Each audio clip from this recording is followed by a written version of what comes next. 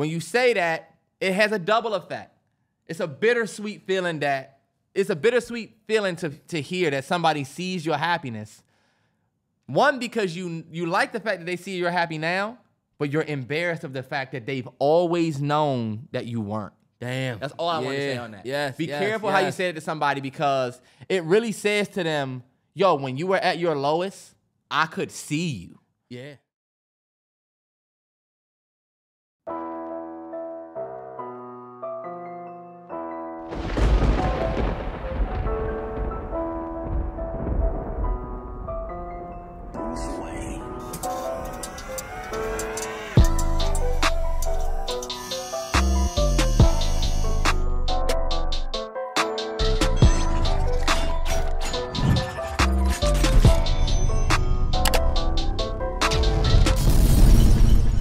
Yo, it's the Mallory Bros Podcast, episode 163. Happy Friday, happy weekend. Um, it's been a busy week, I would say. It's been a It's- definitely yeah. been an eventful week. I hope everybody's feeling good. You know, not under the weather. We getting ready to get out of this summertime weather. We getting into more of the cool I nights. don't know why people keep saying that. That is not happening. It's about to be warm through Halloween. I'm hoping so, because that's how it was last year. Yeah. We was like, snow coming, snow coming. Hold up, it's a 75 day. With my umbrella, well, you know, where's my? You know what I was saying? My girl brought a uh, a big pregnancy coat last year because she was pregnant. Right? she was yeah. like, by the time winter come, I'm gonna need something to put on. Never wore it. Never Because wore it never got cold enough to wear that joint. Damn.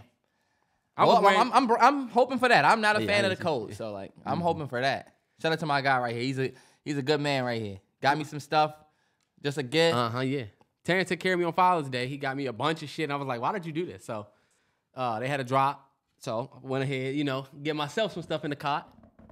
I said, you know what? Let me spin a motherfucking block.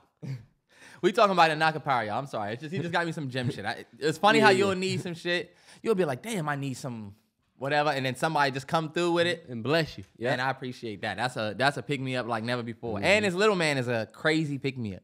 Yeah. Terrell can send me a picture of his son, and that's why I, that's why I was telling people like I can't even beef with Terrell the way that I used to. I used to be like, you know, fuck this nigga Terrell. I mean, I don't talk to the nigga. A couple days and see how he likes that. but if more than however many hours go by, I'm like, uh, I'm trying to see the K man. yeah.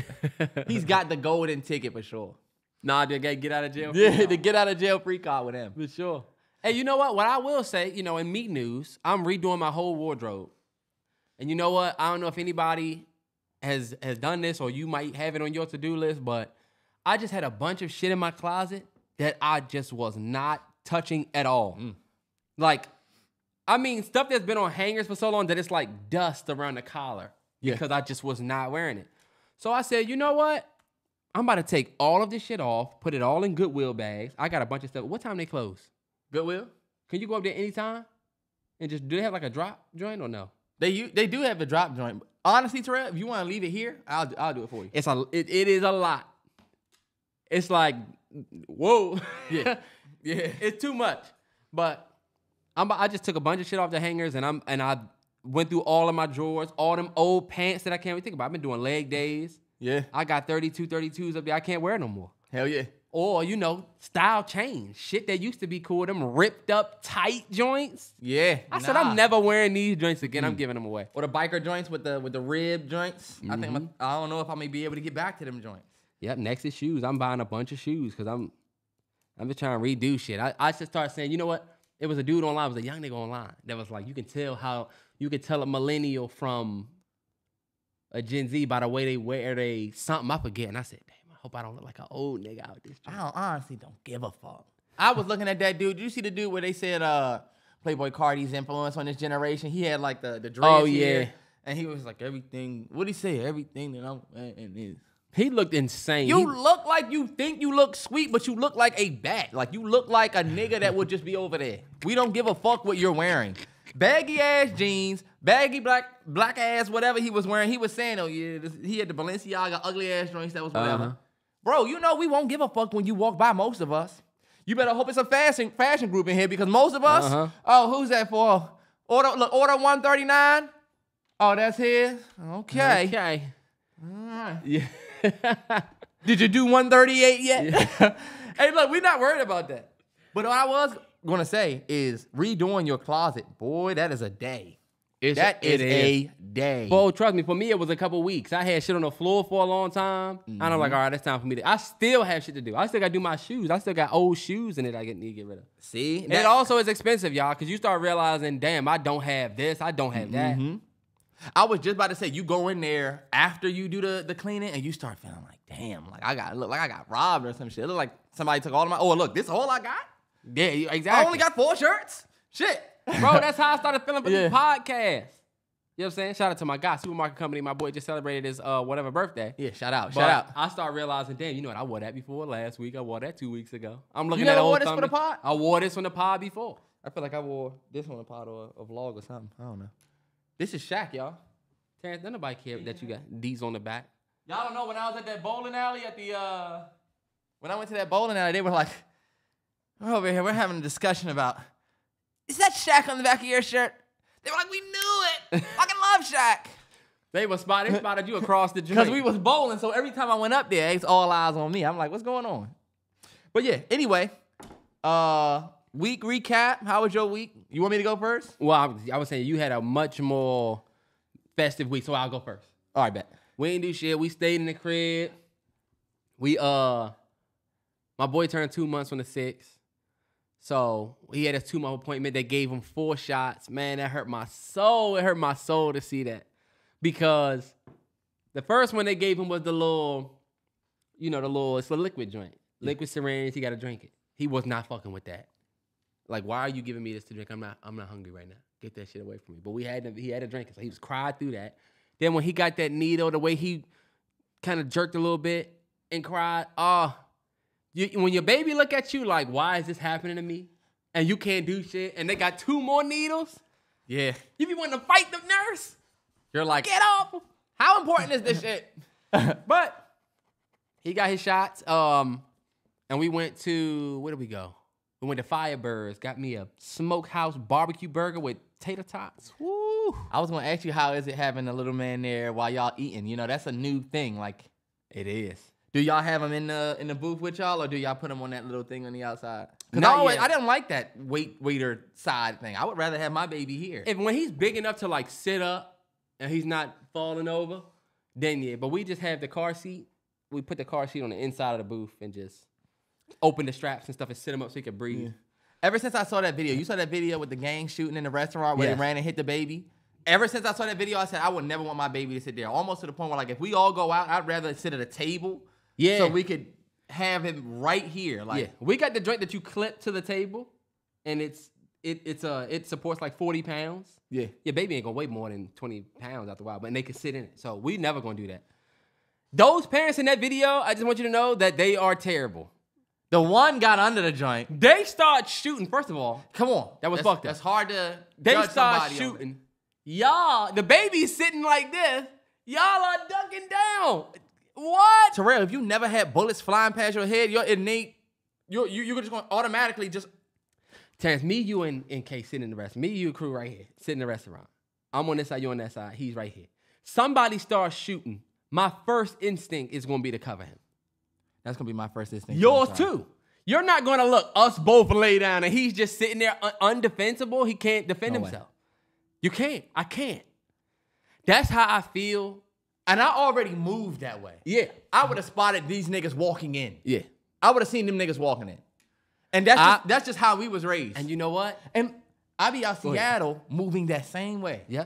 I'm always looking out the window. I'm always doing this. Even to the point my girl be like, "What are you looking at?" I said, "Look, I'm from PG County. Yes. I'm not from out here. Yeah. Anything could happen. You And know? you ever, hey, you ever, and this is something that most black folks can, or pro- probably everybody. I ain't even gonna just put it on us, but you know how you just spot some friction. You see a nigga saying, "But I told you to come back this way. Why the fuck he didn't tell me that?" And he said, "Nah, nigga, because you said."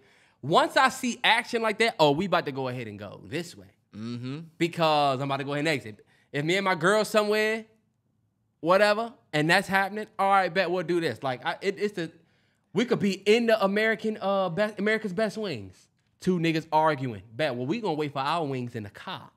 And then I'm gonna come back solo, get the wings and go back just in case some shit jump off. Cause the worst thing, the best thing would be is if some shit jump off, I can get back to the car. Yeah. And I don't have to gather my troops. Yeah. That make it tougher. And but I you was- can spot that friction. you can spot it. And I was gonna say, man, I've been into I've been in some toxic relationships. It's worse when you know that you're the friction that was spotted.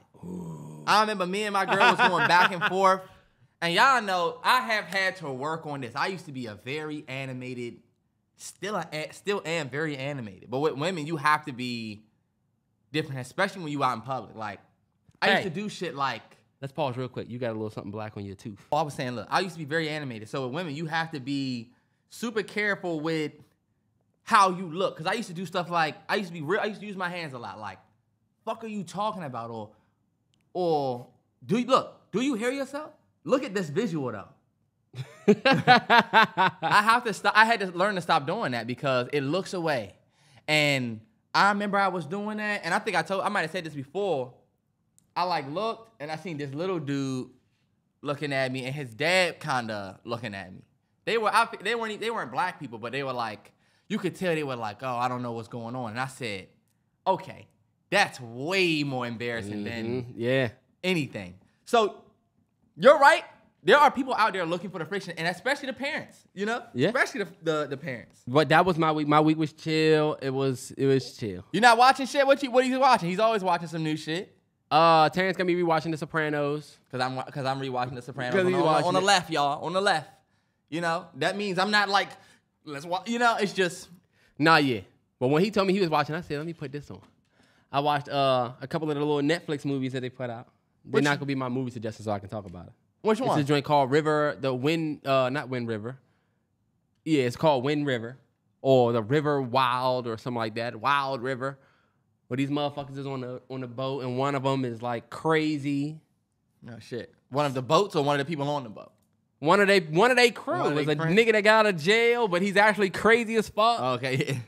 Um, so that was I, and um, me and my girl watched Big Brother, which I was not a Big Brother watcher, but that shit is actually dope. Terrell and his girl are on that show, Big Brother. We be watching old seasons of that joint, and I was like, "What the fuck is that?" I thought that was like a reality show type joint, but it's just like a it, it is, but it's like games. There's some people that was logged into Big Brother. It's funny. I used to watch the Big Brother fights compilations for some Uh-huh. reason, but never watched the show.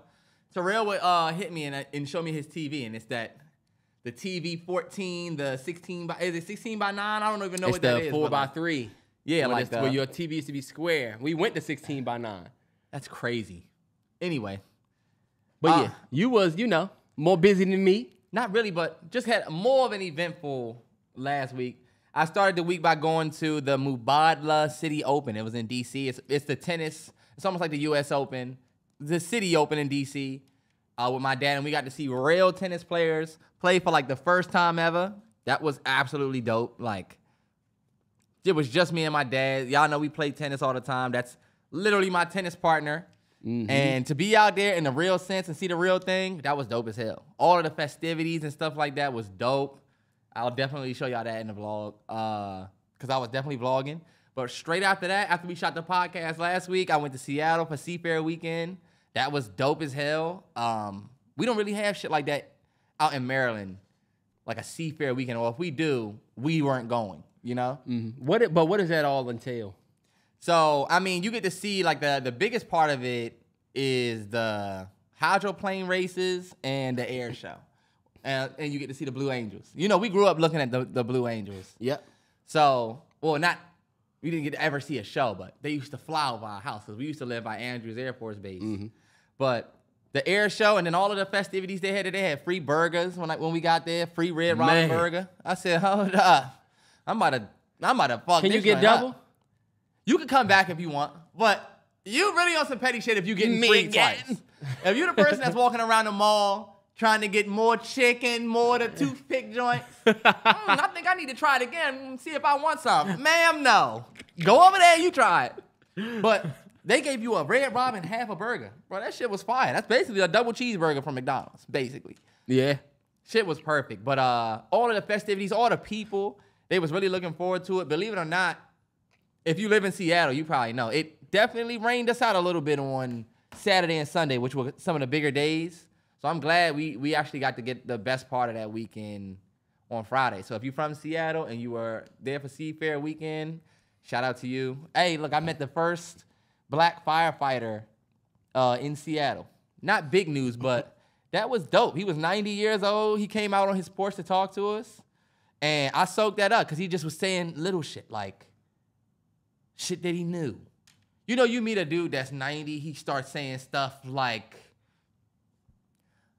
I don't know. Give an example. I'm trying to think of an example, but not. They start saying stuff like, when I was, when I first did this, when I, you know what I mean? I can't really say what he said because I don't really remember Uh-huh. everything. And I don't want to say it and be wrong. But I just know I soaked up that moment in meeting. This is the first black firefighter when there was no firefighters a- able to be a firefighter. He was the first black. I said, man, that's dope. And That's he was crazy. 9 0. And I'm standing on this man's porch. You know? He got his Uh-huh. beachfront, beautiful ass house. If you're from Seattle, you probably know who I'm talking about. Shout out to him. Shout out to y'all. I really kicked it with my girl and her family for real this weekend.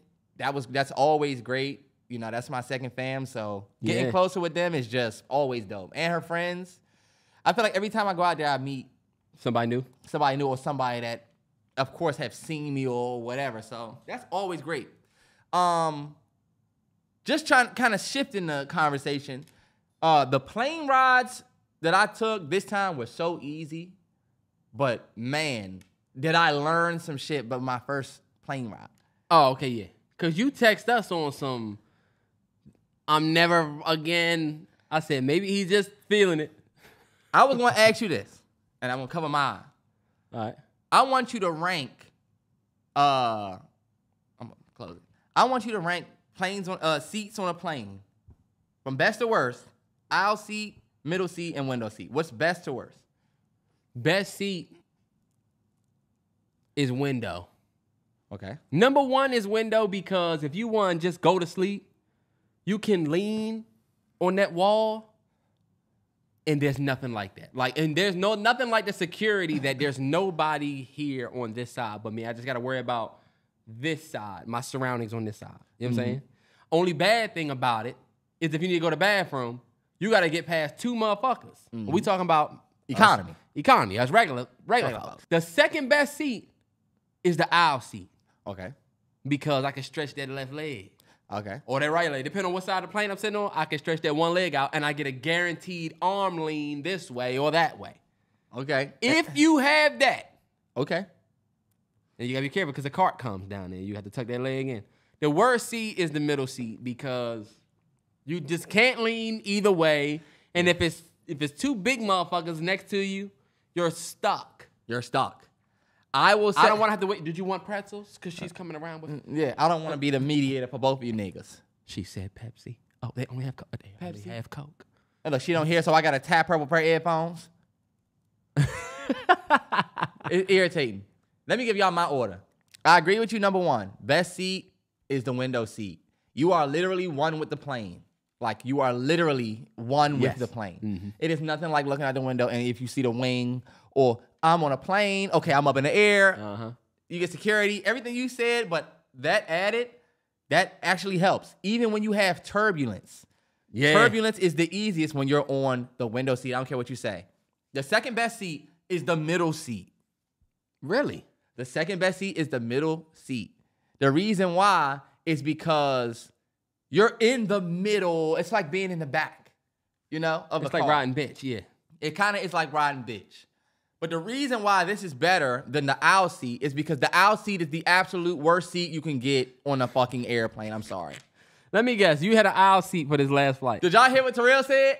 Oh yeah, I like the aisle seat because I can stick my left leg out. And what I Uh, didn't get to say is you get easy access to the bathroom anytime you want to go. You get easy access to the bathroom. The guy that I just flew back from, uh, that, that I flew, flew back from, he sat on the aisle seat. I was so jealous of him because he could he would stand up and just stretch. He would stand up and do this, Mm-hmm. stretch his legs, and then You wouldn't get in his seat. If you would have tried to switch, you'd have been like, no, sir. No, Can't hell, do a- that." absolutely not. and then he kept thinking that we wasn't going to have anybody sit by by us because it was nobody sitting in between us. I said, uh, "They're coming." Yeah. he kept saying, "All right, dude, we, we- we fucking did." Nah, you're wrong. Here They're come coming. motherfucker down the Motherfucker middle. from the back. We have a seat right here. Uh-huh. like, "Oh, fuck." I used to hate when they used to do that. Go ahead, though. I don't know where he came from. The aisle seat is the worst seat because, like Terrell said, you think you can put that left leg out, but what happens when the cart comes? Or when 50 million people on a six hour flight from Seattle need to go to the bathroom? Every five minutes, there's somebody coming down the aisle. And Terrell, let me tell you, people do not give a fuck coming down the aisle. You think, did y'all hear also what Terrell said? Oh, yeah, you got the guaranteed lean. And do you? Not when you got this coming by.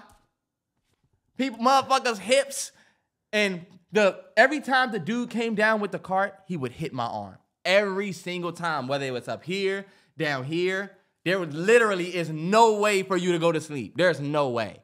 And then look, when they come down the aisle, so irritating. So irritating bringing food up and down the aisle. It is the absolute worst seat. Also, turbulence. You're in the middle of the plane. You're free balling it basically. Any No, type of turbulence, what are you holding on to? Not them over there, not him. So you just, bro, the worst seat on an airplane is the aisle seat. Easy bathroom access. Who the fuck is really getting up to use the bathroom if you don't have to? Because I use the bathroom before we get on the plane, thinking that there's no. I always use the bathroom before, thinking there's no bathroom on the plane for some reason. Or I won't even eat. I'm like, oh, I ain't gonna eat. I'm not gonna do the most. Uh-huh. I got Wendy's right before my flight too. Ooh, did they have breakfast? Nah, I got a classic chicken sandwich with a large fry. Shit was fire. I was on the phone. You know how you be on the phone and somebody's like, hello, hello? And you like, my bad.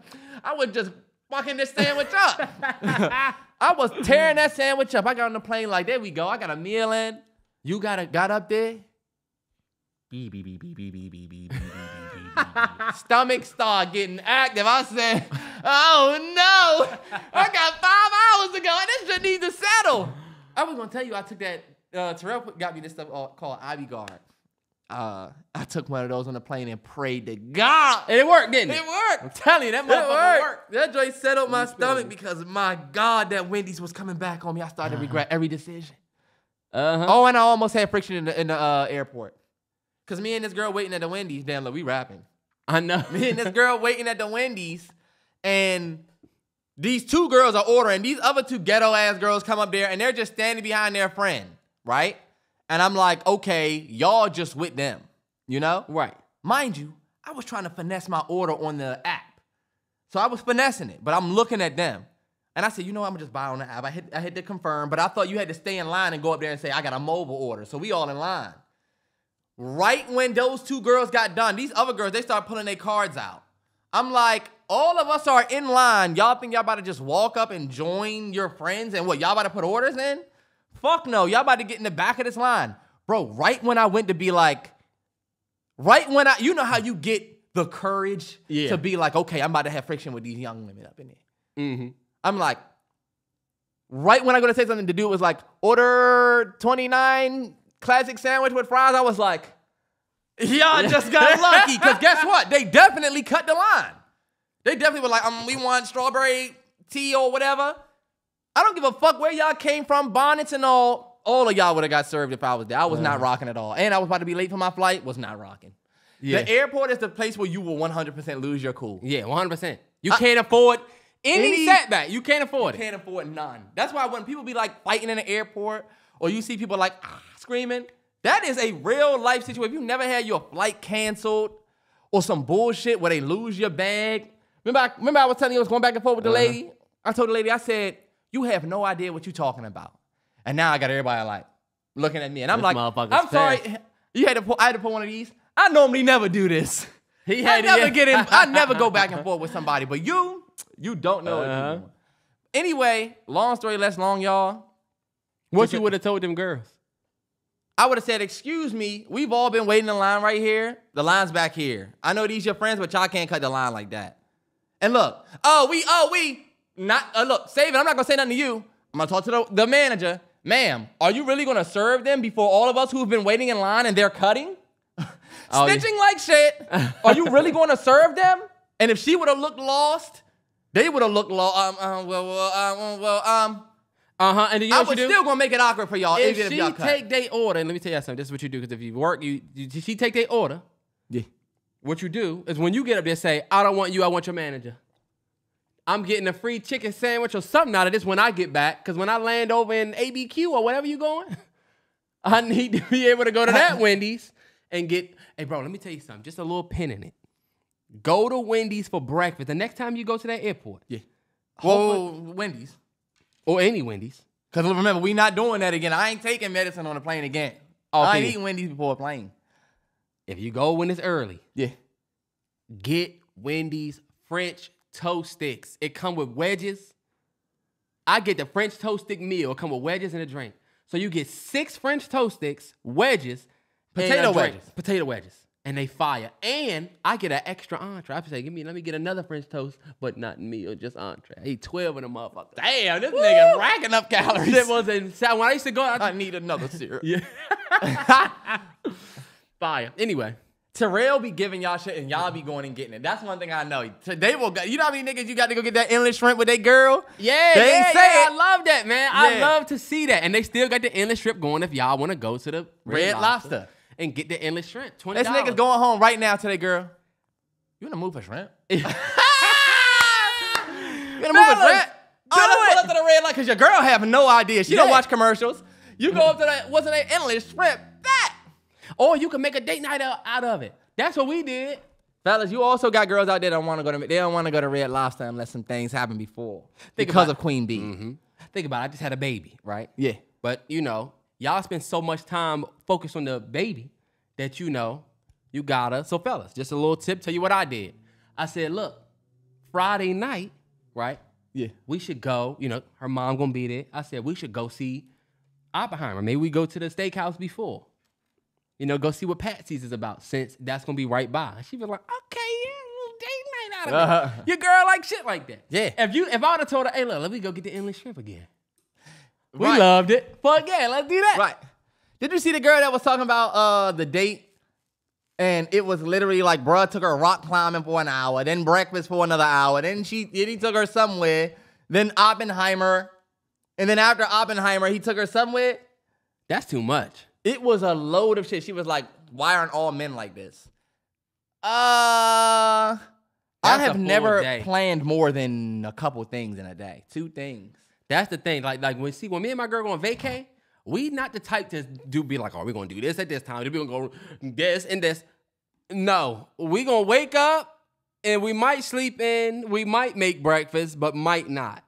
That, that there was people that be talking about the person on the trip that's trying to do everything. Yeah. That's what that remind me of. I ain't trying to do all of that shit. Hell no. You got to get them ones that are right in the middle. They want to do stuff, but they don't want to do everything. And then look, if you want to take a girl and do all that stuff, cool. But fella, I mean, bro, you you giving away all your. Y'all always got some shit going on. Niggas moped out there, whatever that is. They ain't even know. But my grandmother came today to see her great grandson for the first time. Uh, they downstairs. I'm about to go let them in, and they say it's two people getting locked up out here. So she comes upstairs and she's like, "Terrell, what type of stuff y'all got going?" I'm like, "Nothing like this ever, Ever happens. happens. I don't know what them niggas did. I don't know what they did, now, Granny. now I look like I live in the hood. Yeah. Every time you talk to Granny, she gonna say, "Okay, I ain't coming out- with that baby." yeah, I ain't coming out there to Terrell no more because he got Yeah. It only take older people one thing to happen for them to never go back. All right, let's get let's get off on a on a good foot. We're gonna start with some of the hottest news of the of the week. Maybe some of the hottest news of the year, I would say. But I'm glad to see this story comes to an end, uh, regardless of how it ended. Tory Lanez sentenced to 10 years uh, in prison for a number of things with the Meg Thee Stallion situation. yeah for She was found guilty of having an unregistered fire, firearm, discharging a firearm with gross negligence, and assault with a semi-automatic fi- firearm. Yep. Uh, he got 10 years. Uh, my question to you was, did you think that was a harsh sentencing, or what do you think about the sentencing now that it, it's come to an end? I never like to see black men go to jail. You know what I'm saying? I'm never going to celebrate that. It was more so like a, I don't feel bad for Tory. Like I feel bad for Tory. Yeah. But the reason why he's going to jail is his fault. You know what I'm saying? Yeah. Like, I'm more so felt like you was wilding. You know what I'm saying? Yeah. It's almost like the same way I felt about Henry Ruggs. I feel bad that you're going to jail, but you killed somebody. yeah. You know what I'm saying? So I really should, don't even really feel terrible. Kill somebody and they dog. Do not count out that fur baby. Yeah, that's true. that's true. And his I, girlfriend. I didn't know that. Damn, I didn't know that. Didn't his girlfriend die in a crash? I don't don't know. But bottom line is like, I, I never like to see black men go to jail, but e- like with, specifically with Tory Lanez, the situation just Like I don't, I didn't like y'all, and y'all probably have noticed this. We didn't join the whole he did it, he didn't do it movement when that shit was happening with the trial, and we didn't cover any of that trial on this podcast. We said we're gonna wait until the end of it, and when he was found guilty, we still didn't really cover it. Now that Yeah. he going to jail for ten, I mean, it's it's not as bad as what people think. You know what I'm saying? Yeah. Like it is. It is. You are about to do ten. He probably would do six with good behavior, but a gun charge like that, you're gonna you're gonna do ten for the strap. You're gonna do ten for the strap, easy. And then the disch- discharging with gross gross negligence, you- you're gonna you just compound. You actually did good compared to the thirty you could have got. I about to say yeah, But- unregistered firearm. That's Yeah. that's uh, y'all know how that's gonna go. Yeah. And then, I mean, feel how you want to feel about, you know, whether he shot Meg or not. She was the one that ended up shot. You the one that fired with gross negligence. I'm not gonna come out and say you did or you didn't do it, but There's people who say he didn't have any DNA and they never found conclusive evidence that he actually shot. bro, there's a there's so many different takes out there. Yeah. And honestly, that's why I say I don't like to see a black man go to jail. I do think you put yourself in this situation where you lost control, and so you kind of gotta own the result. Remember, I told you like, remember we were talking about how like if you if I gave my seat up at that game, I take everything that come with it. Yeah. Or if I decide to do, I gotta take everything that come with it. And it's kind of like, I, that's just kind of how I look at it. I don't put too much stock in the, oh, free him, he didn't do, because none of us really know anything for real. Even after all of the whole trial, because my girl was on that joint. I mean, watch the whole joint, Yeah. and we there's still doubt on both sides, but. And it, but there's there is people that feel like you know how how can you y'all be cool with him going to jail if there's still doubt and for me, it's more so like you got yourself in this situation. You was wilding. You had a strap. Yeah. The strap, your strap, You were involved with. something went off. Yeah. Like I don't. It is a fucked up situation that I would never want to be in. I wouldn't want to put nobody in that situation. What Mm-hmm. I'm not going to do is engage in the Tory Lanez versus Meg Thee Stallion thing. Yeah. Mm-hmm. You know what I'm saying? I definitely think there are some gaps. There's some holes in the whole thing. I'm not going to say whether he. I'm not going to say the sentence was too harsh, but I am going to say I was surprised that he got 10 years for this. Yeah, I was too. And I think two things can be true, y'all. We can the sentence can be the sentencing can be a little harsh, and he can still deserve, you know, to Time. be, mm-hmm. you know, How do you feel about the people that say, if it was y'all moms or sisters, y'all would want life? if it was my mom or sister, I would talk to her about what really happened. We are unable to talk to Meg Thee Stallion about what really happened, and Meg Thee Stallion wasn't even that able to re- recollect what really happened. We got so many different stories. But Meg's but Meg's story would be that your mom, if your mom was Meg or if your sister was Meg, she would say he shot me. Imagine, imagine Candace in a situation like this, but her mm-hmm. friend saying some different shit. You know, it'd be like Candace. All right, why she saying this? Nah, yeah. Cause that's the the part we don't know is who was fucking. That's who we really don't know. but that don't matter. None of that matters. It doesn't matter. I'm just saying that's why stories start to get That's when messy. shit get muddy. Yeah. Yep. And all of that aside, I don't think Tory is gonna do all 10 years. People was like, oh nah, with this he is. I don't think he is, y'all. I don't think he's gonna do all 10 years. I think he'll do something, what else? Something else. So the people that are so butthurt about it, like you said, bruh, low key got off a little easy for this. Because if he wasn't a celeb, same with Henry Ruggs. Henry Ruggs got off easy as fuck. I didn't even I was so surprised with these two cases, but You kill somebody and get three years? That's insane. if the situation is Tory Lanez that you shot Meg Thee Stallion over some petty shit, you need to do every minute of that time that they gave you. Mm-hmm. Only that's how I feel about it. If, if that's really the case, and if they lying on this man, I do think it's bullshit. The system is bullshit. We should be more upset with the situation in the system than we should be with two individuals. We shouldn't aim all of our hate at Meg the Stallion. I just don't think that. and she wasn't the one. It was the state that that sent him to jail. You know what I'm saying? Because of that gun. Because the police that came and did the whatever and said this is what happened. Now you got to deal with the state. It wasn't like Meg was sitting in the courtroom a- a- across from you. She wasn't. Yeah, that's why I don't want to. I, I ain't got no smoke for Meg Thee Stallion. I will say Meg Thee Stallion needs needs to rap. Come on with the music. I I'm will sick say, of Sexyy Red, Glorilla, and Ice Spice. What happened to Meg? She was on top before this shit. did you see they said we ain't seen Glorilla since the new Sexyy Red variant? That's very true. Where's she at? I mean, you said I'm not a one hit wonder. They said they tried to say that I was a one hit wonder. Okay, you one hit wonder. You could be a one hit wonder. You even though you got two tracks, you could still just be a one year wonder. A You one was year, hot you for had a- one year. Mhm. You gotta keep this shit rolling. This shit is not easy. It's not. It's not easy for her to. It's, it's not gonna be easy for her to make another joint. She tried it with the the slob on my knob remix joint. You seen that joint? I actually didn't. It was terrible. It's like stop trying to do this. But she try she trying still. She she might figure it out. You know what I did want to say about the Tory Lane shit. Um, I don't really have a dog. I don't have a dog in that fight I don't have a dog. because to me, I really don't know. I can't swing all the way one. That's why I stayed away from it, and I stick to you. You doing the time that you know you kind of put yourself in that situation. yeah.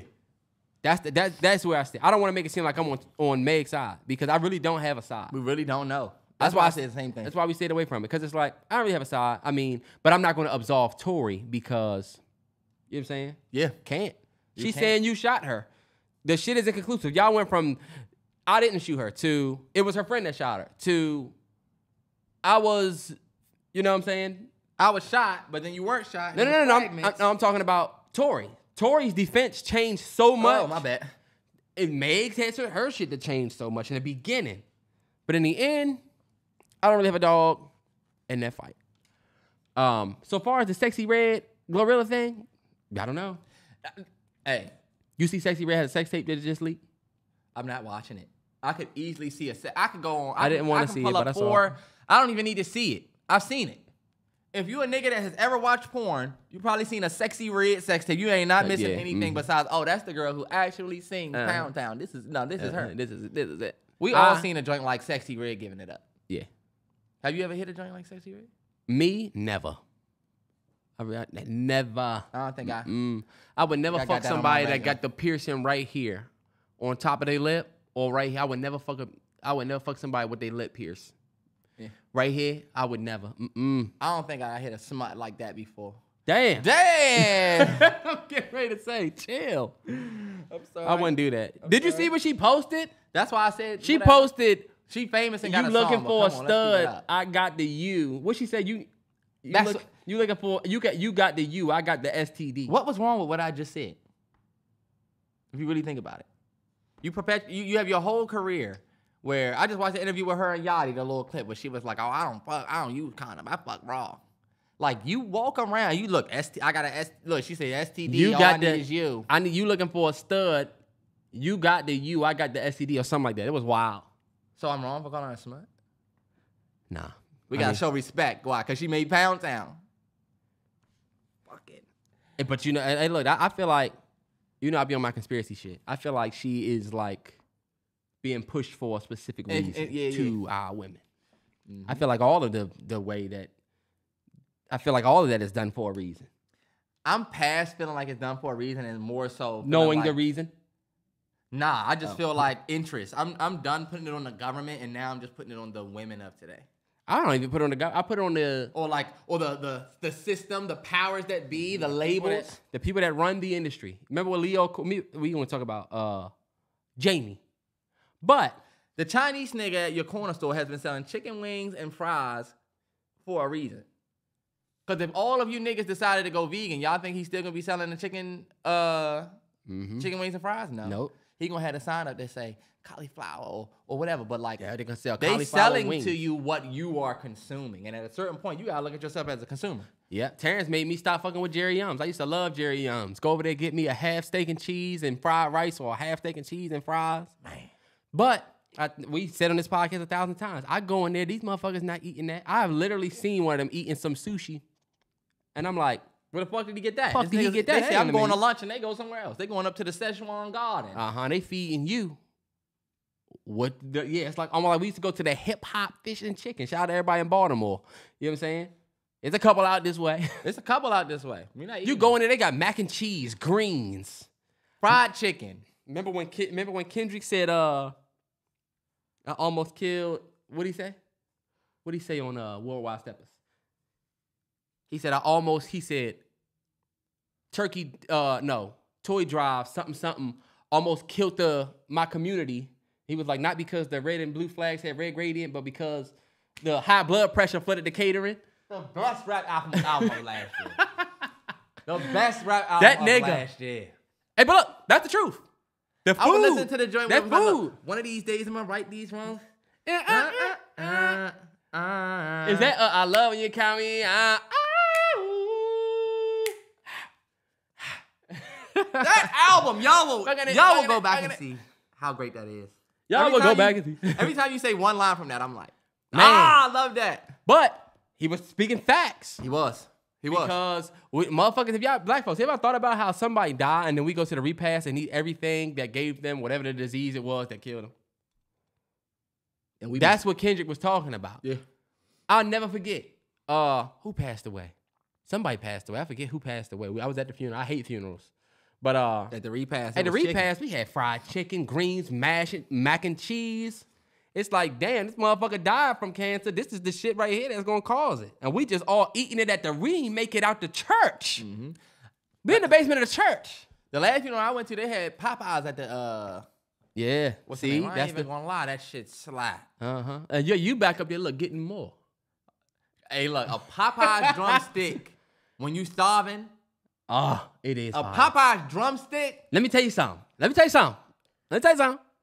I wish I could get a five piece drumstick at uh Right. Popeyes. I don't want the wing. I don't want the wings. Give me that Like, big five drumstick. drumsticks. On some caveman shit. I'll be standing out there right there with one. Real leg. niggas know that the, the the what is it? You know how they say uh flats or Drums? is it drums? Drums or flats, yeah. Oh, okay, flats or drums. I am a drum. I would Oh, I would take drum all drums over flats. Oh, you tripping. Give me that flat. Give me that flat, flat, flat, flat, flat. I like I feel like you get more chicken on the drum. Hell no. The opposite. You get more chicken on the flat, less bone. That fat ass gristle at the You top get of the so drum. much good chicken on the on the on the what's the name? And you could dip them joints easier.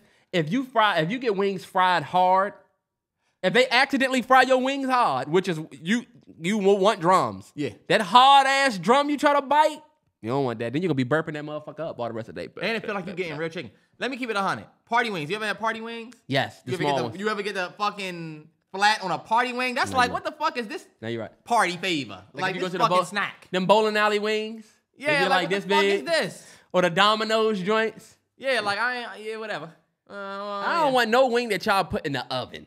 Me neither. You know what I'm You can saying? keep it. Mm-mm. Like Paisanos up there, they got the they got the wings. You could tell they fried them joints. Ooh, be fire. Domino's wings baked. Them joints be soft as shit when you when you bite into If them. you getting wings from the pizza place, you're actually a hungry ass nigga. I'm letting you know that. If you get wings when you get pizza, if you had to get wings, you're a hungry ass motherfucker. You need to be stopped. Just eat the pizza. I'm glad you said if you had to get wings, because that is that is honestly when you get wings from the pizza place and a nigga that Domino's right by my. I always say I can get a pizza, but I need to get a couple wings with it. uh, you No, you didn't. You didn't. Cause look, you'll be eating a pizza and go, "Oh yeah, we got wings." You don't even remember. Shit, nigga like me make a whole plate, six of them wings, two slices. That's crazy. You eat more than three slices of pizza in one sitting, you're also nuts. I know, and you know what, bro? I could take down a whole medium myself You in know one what? sitting. Never mind. You're right. I could I could dog a whole pizza, Yeah. On a but cheat day? you're just still nuts. Mhm. And you You're know what I be telling crazy. myself? I gotta stop doing this. I be telling myself, why am I acting like I can't get these calories? Why am I acting like this is gonna be bad? Cause you're getting ready to put a whole load of cheese in your stomach. That's crazy. That's why I say you're you're on ten, especially if it's pepperoni. I said said, a whole "Shoot, I need these gains. I feel Your it. boy back in the gym. I love And to see back. it, man. And I'm not. I'm. I've actually been out of the gym. I've been out of commission, y'all. I don't know if y'all look, looked at me the last podcast. I kept doing this, cause the last time I went to the gym, I pushed myself too hard, and it ended up fucking up some shit in my neck, some shit in my back. I, Mm-hmm. I need uh ash rehab. Mhm. Hit me up, bruh. Oh, you should hit him, bro. I was about to hit him the other day about uh my knee, cause my I, since I started going back to the gym on my leg, then my knee be ringing, and I'm, like, telling you, I got the stiffness all up here, y'all, and it's got me scared to go back to the gym. I'm losing weight. let's talk about the uh the boat brawl. I mean, at this point, it's been a week of jokes, a week of coverage. Y'all already know it, Mm-hmm. but I know everybody want to know what we think about it. Absolutely. I'll let you go first. Just ex- you you explain what happened better than I do. I don't even know all of the details of what happened. All I know is that they was jumping this one black dude. These we these there's a bunch, group of white men jumping this one black dude, and you start seeing black folks come from across the everywhere, Coming from the woodwork. coming from the water, Like the Avengers. Mm-hmm. Yeah.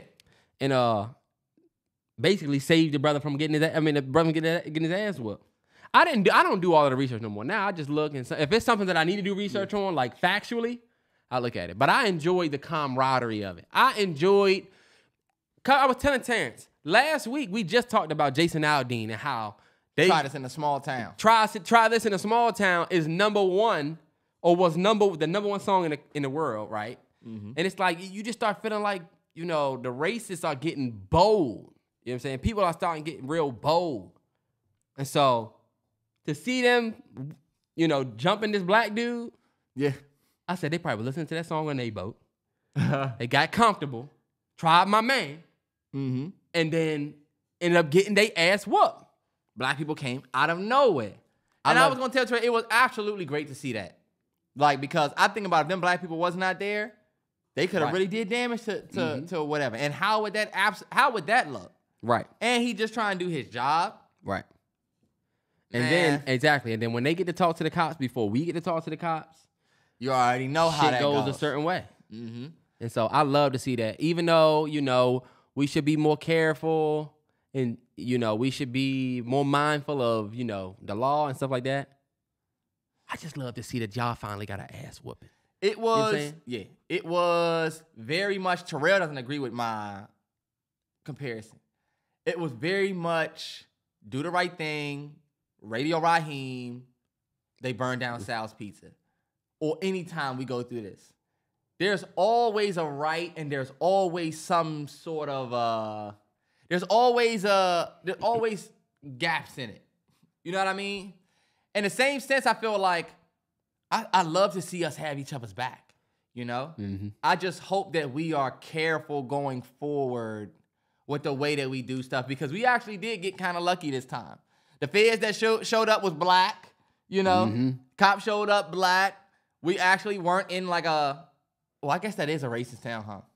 I don't know. I don't really. I don't really know too much, but I, I don't think that we were. You know, we were lucky. We luckily outnumbered them in that situation.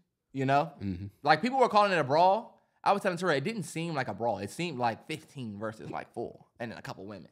You know, so Yeah, brother hit the lady with the chair that that didn't get charged. He lucky. You lucky. he's lucky. He went I- crazy. like the the the jokes that we got about the chair is, is is funny, but also I felt a certain type of way about that. Like we shouldn't be applauding a dude hitting a woman over the head with a chair, like especially defenseless too. She was just sitting there. He goes over and hits her on the head with a chair. Yeah, all right, this reckless. she was acting up first. She Not just had a moment to sit. Even if, like, I'm not saying that anybody did anything wrong. It's just we need to be careful because, like, we was thinking Oh, yeah. early in the week when it happened, we was like, damn, I hope you don't see a bunch of people losing their jobs, going to jail, Yeah. doing all of this, even though we love what we doing. Because the part about do the right thing that they don't show, that they don't see, is the aftermath. You know what I'm saying? Mhm. When we act like that, and like I was telling Terrell, we got a big response, a bunch of jokes. It was funny, a bunch of memes, a bunch of all of that. But like, we gotta be mindful of what the future look like. Is this always how we're gonna treat situations like this? You, know? mean you mean the response to the ass whooping, not Yeah, the ass response- whooping. Not the ass whooping. I mean like the response. You know, I was telling Terrell, my only gripe with this situation, I've, I've said I, that I had a gripe with it because it just seems like we have more jokes than outrage. I feel like we should have all been a little bit more outraged that they really tried to jump this black dude. But instead of outrage, we got a lot of memes, a lot of jokes, even from the people that push, you know what I'm saying, black empowerment and uh and people that push like for us to get, you know what I'm saying, certain benefits that we don't get and our black leaders, a lot of them it's just a lot of jokes. And I'm like, damn, you know what? This is gonna end in a joke. And it feels like it's just gonna be something that just goes, oh yeah, I love us. I love how we come together. Do we really come together? we come together. Because if we if we come together, and y'all know I'm gonna give it to y'all straight. I'm not gonna bullshit. Y'all, I, I, I take all of y'all challenges. We come together. We love to see ourselves come together for shit like this. But it's it sucked when this seemed like the only thing that we be coming together for. This or entertainment. And it always ends with entertainment. I told Terrell, we are so much, we're so consumed with entertainment that we my this is all I'll say. How do y'all think that everybody else sees the jokes? Do y'all think that we're gonna that it's not gonna happen again because we made such a joke about it? You know? We see little shit happen to other races and they get a whole crime hate bill. You know? Yeah. Shit like this, we could probably get our own hate bill, but we got so many jokes that they'll say, oh, you know what? It's not that bad. Not them. I mean, like them, like the, the people that could say, you know what? I can see why they would need a. Nah, yeah. The Asians did what the Asians did. They got a whole anti-Asian hate bill from stuff like that. I was a, this person was assaulted. This person was assaulted. They got an anti-Asian hate bill from COVID.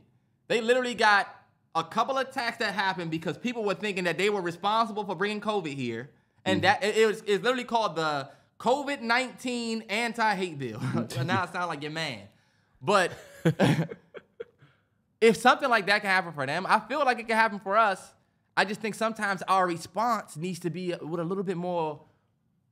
Like thankfully Rage, we a little bit thankfully more- we were able to defend ourselves, thankfully- but that was bullshit. Right. But you got people painting chairs and putting chairs on chains, and we talking about chairs, and everybody's trying to get a laugh.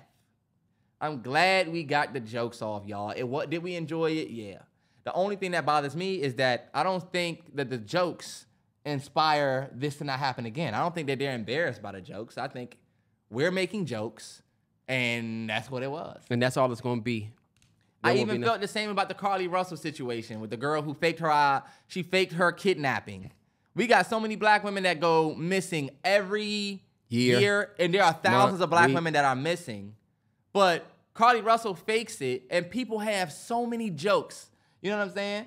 I even seen somebody say, "Oh, I want the white woman treatment for her. I want, I want a documentary. I want a TV show. I want."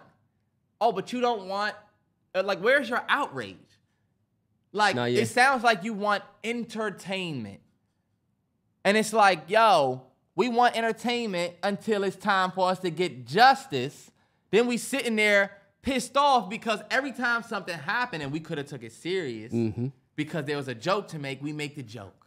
Yeah. You know? And I think I think more people should be outraged at the Carlee Russell situation. Like, yo, she's fucking this up for all of us. We got real black women missing. And you lied? We should be outraged. There was yeah. More people, and I'm not saying nobody was. No, you're right though, because there was way more jokes than there was. There was more people tapped in making jokes than when she was originally missing. right. When she was originally missing, it was a bunch of people, including myself, who didn't know much about it. Oh, but I saw all of the jokes because there was just so much. All of the jokes. So, hey, look, we're not trying I'm to be the you. party poopers, right? Not yet. The Montgomery boat brawl situation is a it's a hilarious situation. The chair aspect is hilarious. Bruh that swam through the ocean and then rock bottom the dude. Not that yet. dude made me reevaluate my entire physical Yep. Fucking status right now. I felt like I'd I was in fit shape. Nah. Mhm. I'd have been tired as fuck by the time I got there. I was just in that pool la- uh, a couple weeks ago. I swam from one end to the other end. There's no way I could have got out Mm-hmm. and fought. You had to stand up halfway. I remember when I got to the edge of the pool, my heart was just beating like, and I said, "Damn, that's like I was just running full speed." Swimming is great cardio. It is. Even basketball and boxing, the Yeah. sweet science, bro. It is a true stamina game. It is. Like, did you see what Floyd said? Did you see what uh, what's the name said about Floyd when he fought Conor McGregor? He just knew Conor McGregor was gonna get tired. And he said, "I'll probably take him out around around six or seven. Yep. Did that? I watched Nate. I bet hundred dollars on Nate Diaz. Damn. Lost it.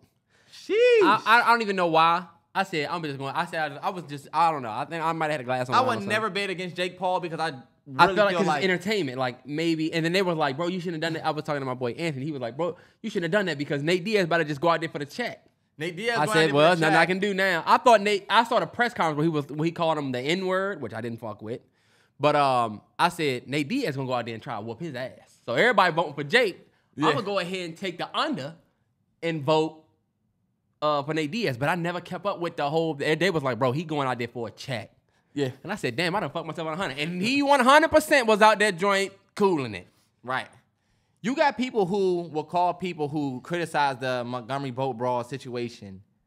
You got people who will look at that situation and they'll criticize the people who are critical of the black people in this situation. They want to call you a coon. They want to say that you're you one of them. Even some of our black leaders. You know what I'm saying?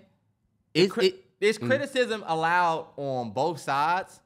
And all I'm gonna say is when you try to bring up these other races and say, okay, what about when they? What about when they? Y'all gotta understand that we ain't them.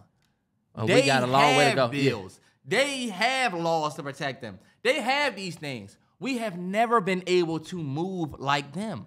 We have Mm-hmm. never been. A- we've always they've been able to do some shit, but when we do it, it's fades everywhere, or or we get hemmed up. Mm-hmm. We can be mad at the system. We can talk about the system, but also, I just think about what my guy Nipsey Hussle said. R.I.P. I listened to Racks in the Middle this morning. Terrell told you. I, Terrell walked in. I'm just emotional because I'm listening to Racks in the Middle. We This just nigga's- embrace the only life we know. Nah, Wow. yeah. And you know what? Oh, no, let me just say Mm-hmm. this. One of the best things that man ever said when he was walking on this earth is that we have to be mindful of how we react when we disrespect. Or we got to work on our reaction to disrespect. You know? I don't think this reaction wasn't warranted. I think some of the extra stuff is where we start to get in trouble. That's all. That that's my only crit- And criticism. the- yeah. And I think the where a lot of it gets lost is I think when people come out and say, "Oh, they should have never beat them people up like that," then yeah, Yeah, then nah, that's the wrong that. way. But people that's coming out and saying, "Yo, like." I was, you, I'm, raising, I'm raising a son. You know what I'm saying? I see a bunch of black men out there. I'm thinking about a bunch of fatherhoods being put on the line. If they charge you, or if if you go out there and you know what I'm saying? Yeah. I understand we was protecting my my guy, but once we got him safe, That's when we need to shoulda re- smart. We should have retreated. Yeah. We shouldn't be trying to not because we shouldn't do it, but because we gotta think smarter about the situation and how it will play out for both of us in the law. Cause you don't have no control over anything but this situation. Once you stand in front of that judge, understand that he might put on this coat tonight, but he might put on a different coat. You know what I'm saying? And, Yeah. and, and throw the book at you. So you gotta be careful. Look at Tory Lanez. You just got 10 years for this situation that who's responsible for it but you. Right. And look, can you point fingers and say, oh, but it was started here. Oh, but he started. I told Terrell, he started it. She started it. That's never going to get you out of, you know what I'm saying, issues with the law. It's never going to save you. That will not save you. So we th- we just thinking smart, y'all. We not party pooping. Nah, we yeah, just saying, sure. yo, we had the fun. I would have 100% jumped in. But once we got bruh safe, I'm not about to be hawking them down on a boat. I'm not running after you. I'm not hitting people with chairs. I'm the type of dude that's trying to break it up, you know? and then you catch a right. And then I catch it right, and then you say, I'm trying to break it up. And now Yeah, you in the yeah, fight. yeah. You fight. I seen that happen But- a million times. Yeah. I would have definitely hopped in. I would have definitely saved my guy, but 100%. But once we got him to, sa- I would have been trying to save him. Like, I'm not trying to jump in and whoop no white ass. And we're not trying to find Not because the I don't want did to. it. We're Right. not the the law, y'all. We are not. We can't go up to the bone and say, "Did you just beat his ass?" Oh, well, I'm about to beat your ass. That's That's where we get in trouble. Mm-hmm, because them motherfuckers It that might own feel boat, good to do, but They own them boats. It gonna press charges. them motherfuckers. Thankfully, none of the black folks was charged that I Thankfully. That I've seen so far. so far. But yeah, But crazy situation. Shout out to everybody who felt like it was a W for the black community. If you felt like it was a W for the black community, I mean, hey, it was definitely a was- W. I can say we it These as a W. motherfuckers was talking about try that in a small town. Did you see that motherfucker at his concert? They're they're calling me all sorts of things, but guess what? I love this country, and I want to protect this country, and I want to protect everybody, and I love my family. All right, bet. yeah. And they was flooding his ass with them joints. And look, Donald Trump is on his way back. I just watched his "Make America Great Again" little Oh, something press. That joint says "Make America Great Again 2024." That the fact that he could even run is crazy, but not yet. we know what he brings. He brings this unreal, raw racism confidence Mm-hmm. in these white folks that gave him the confidence that I think breeds stuff like them saying, "Fuck it, we're gonna jump this black dude for what?" yep. No way it was that cool at all, and I'm glad that most of them got their ass whooped. And I bro- am glad about that. I don't want I don't want that message to get mis- misconstrued. Yeah. But bro, DeSantis is like equally, if not worse, bad. This like we don't need either of them. DeSantis, Ron DeSantis. Oh wait, look, oh wait, who else we got? That dude is terrible, bro. What happened to Kamala? Ain't ain't you supposed to be doing your Hillary? and going next? What the fuck? She's running with Joe again. They get and look, they getting concerned because guess what? They This said we- nigga Joe Biden has no idea what's going on. he doesn't. I don't even know what's going on in Montgomery. And you got things going on in Texas. and you got things going on with Tory Lanez and shooting Meg Thee Stallion. Huh? What You did know he say? You know he concerned about the black male voter, voter turnout, He should be. He said, if you don't vote for me, you ain't black. and then proceeded to do absolutely nothing for you niggas that went out and did it. Eva Pigford was sitting up there in tears. Go Joe, crying. Did nothing for your ass. But you know what we did get? We got an anti-Asian hate bill crime. We got the Native American Pacific Islander uh, hate uh, crime bill or whatever assistance bill. They got that. Not All you get but we dope, needed to get shit. dope, dope that y'all got a specific bill. Yeah, and look, for my people who might be of a different race and, and you might not like hearing, oh, but we needed that. It is totally fine. Just imagine Joe Biden said, if you Asian, you ain't, if you ain't, if you Asian and you don't vote for me, then you ain't Asian. What? And then proceed to take care of everybody to take care of everybody else around you. Look, he didn't say that.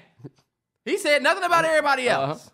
Why did you have to say that about if you don't? Then you ain't black. You Y'all- ain't black. We know what you was doing. And let me tell you, Kamala did probably the best executed job Of acting like this black- bamboozling everybody that Yeah. I've ever seen. She was at HBCUs walking with AKAs. She was eating chicken off trucks. She was saying, "Oh, I'm a black woman and I'm all I know all about being bro." She swindled everybody. First of all, Because she said, hold up.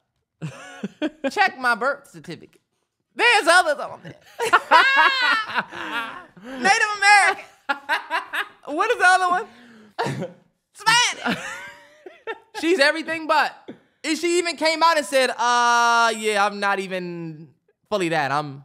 Do y'all see what we talk it's about? all good. It's all You good. see It's we all talk about? good. It's cool, Kamala, because when you was dancing uh Mary J, you was black. Uh huh. I remember that. Oh, but now you're not black. Do you see when she going to the Beyonce concert with her hubby? Uh huh.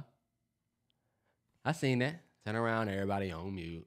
First of all, shout out to everybody in DC.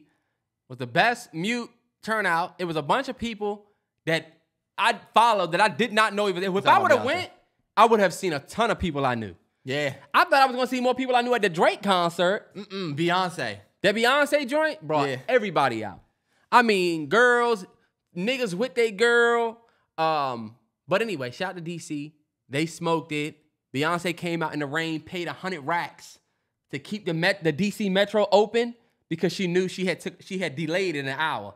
So she paid a hundred racks to DC to keep the Metro open. A real one. Y'all ghosts don't do that. A nice tax write-off. it's a business expense. But I didn't have to do it. Y'all could have looked When, at your when black celebrities do stuff like that, I'm like, oh, that's a nice tax write-off. uh-huh, yeah, yeah, for sure. How much? Just do it. We did it, Joe. But what they really do, say the TED talk. Hand on it, talk. It's time to set it off. What is what is that from? Is that Kanye? That is Kanye, but that's uh money on stage, money like sage in my house, keep it burning. City on fire. He took a shot at Kamala Harris when he said that. We did it, Joe. Is that what he said? You never heard that Kanye West I line don't before? listen to that motherfucker for real. He said, "We did it, Joe," but what they really do? You never heard that? what? That's crazy. Earlier in the week, and this is something that we, we're not really gonna talk about what happened, but more so the situation. Kai Cenat incited a riot. He's a Twitch streamer, one of the biggest Twitch streamers, streamers ever. He incited a riot in New York. I think a couple people might have passed away. don't I mean, there's people who was jumping on cars and all of that. And what I was really going to talk about is how when you get to a certain level, you can't do the same ground level things that you used to do. You know, Facts. I think any artist that might have set up a, a a meet and greet, or I think in this case he was giving away some PS5s. Any artist that does that has the opportunity to incite a riot without with mismanagement. You know what I'm saying? Yeah. He's on some yo. Everybody meet me out out here. Are you forgetting that you're the biggest Twitch streamer Yeah, ever? you cannot do that. You can't be like, oh, bet y'all, hey, I'm about to be right here, towns. And you know what? The uh, that's the thing. The police came out and said he called us four hours in advance, but that's nowhere near enough. Yeah. They said we ran out of motherfuckers to help. Yeah, we can't just and look. You have to get a big. You have to get, I think, a permit or some some real shit. Me and Terrell could say, "Hey, y'all, we about to have the realest nine meet up at the mall over here, or we gonna meet up over here." And I I don't think that it will be thousands on top of thousands of people Yeah. showing up, even though the nine is real. Nine is But- strong, but it ain't. It ain't I don't that think strong. it ain't that strong. This you know? motherfucker just crossed what a hundred thousand subs. That's not even compared to all the motherfuckers watching. Yeah, no. So that's why I'm saying on that level, just a my only opinion on that is damn one and two. You just gotta be careful with what you do now, and it's funny because this is gonna be a learning moment for him for sure. Yeah. This is gonna let him know. All right, bet I'm I'm really up there now. And he I- has all of his relatability still. You know, he still seems like the regular guy, even though he be in design all the time. Yeah, and I But- and, and yeah, and he did he uh, a stream. I don't know if you seen that little clip of his stream where he was talking about how his fans need to chill or Oh. whatever. But like, I think the biggest thing out of that was your team. Your team. You know I'm saying Yeah. it's your team. Your team gotta hold you down in that situation. Like you don't have a publicist. You don't have a somebody. Like you making good, you making that money at that level, you gotta be careful because it's the second thing that you done ran into when it comes to you throwing an event or you being at an event.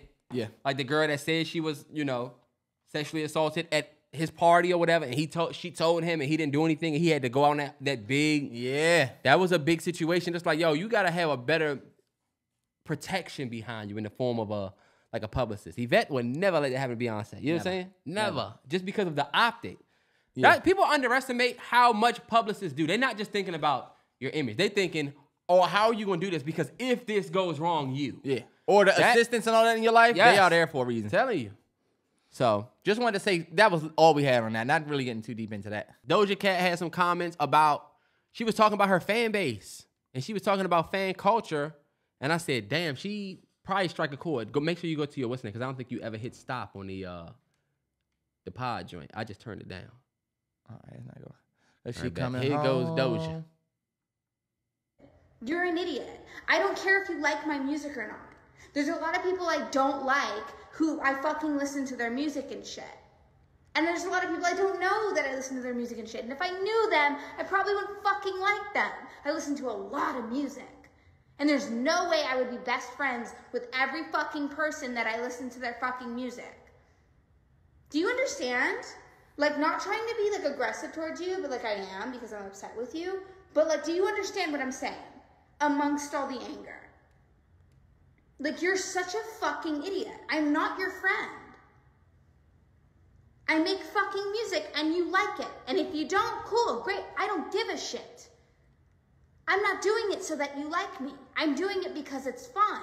Yeah. Now fucking hop off my cock, you Philistine piece of shit. No one fucking cares. That's Doja. Now let me tell you something. Um, that's kind of like a tough thing to hear, but I'm not gonna lie. When Doja said that, I kind of like understood it. Mm-hmm. You're saying like I understood. Damn, did I get did I do that right? Yeah. I, I kind of understood what she was saying because it's kind of like fan culture can be a little overwhelming, and not everybody wants to. You know, Yeah. Yeah. now, what I will say is you kind of you got to understand what you signed up for. Like, if something happens, like you and you and I know this, like just ever just be even with the small following that we have, there's certain things that you kind of obligated to either do or speak on, or, or it's fucked up. Yeah. When Takeoff passed away, we had just did only built for Infinity Links on the mm-hmm. Patreon. We're not, we can't put that out. We when Nipsey passed away, we stopped. We didn't put anything out for a couple weeks. Yeah. that was so heavy that it's like, you know what? I gotta respect. We ended up doing a victory lap flashback, higher music video re, uh, review. We did the God did joint, but Though, but even those was like they way had Nipsey on it. You know what I'm saying? Because if you fuck around, if you, you know what I'm saying, you just, it's certain things you gotta buy by. If somebody pass away and you tweet, yo, I'm chilling today, people gonna be like, you're not gonna say nothing about such and such. So there are certain things you sign up for when you become famous. But one thing you don't really sign up for is having to give so much of your life to these fans. Like, her- the, I think the biggest thing she said for me was, "I'm not your fucking friend." Mm-hmm. You know what I'm saying? So you know I re- you know I resonate with stuff like Even that. what you just said about how when somebody passes away and they say, "Wow, you're not gonna say anything about this," when you really think about it, that is something that you say to a friend. Yeah. You don't know this person to tell them how they should react, but you think because you're a fan of their music, you can say certain shit to them. I think one person said under here The only thing that they didn't like about what she said was her delivery. But Yeah. other than that, it is the ugly truth about these celebrities and what and how they are. Y'all think Beyonce don't really feel like this? Rihanna, Look at how they move. Drake, they, I- they, they- I, love their music, but they really do not give a fuck about us, and it's nothing wrong with that because if I was them, I wouldn't give a fuck. You know, Mm-hmm. because you can't. All of you sit on there and will retweet. I don't give a fuck about no. I don't give a fuck. I only worry about my circle. Look, keep your circle small. Keep your circle tight. Get rid of toxic people in your life. So you are already moving in your life in a way where it's like Mm-hmm. you're selective with the people you're around. Just because you make something that everybody likes, that doesn't mean that you have to abide by everyone's interests and, and you have to respond to everything and all of that. And you have to live your life to appease these people because they like your music. Right. And I ain't gonna lie, Doja Cat been on some bullshit a little bit lately. I mean, she's with that dude that had all of those things come out about him. I don't know. I mm-hmm. don't know Yep. it's- whether it's true or not, but that didn't look good. And did you see her paint the town red? That joint was wild. Video? Yeah.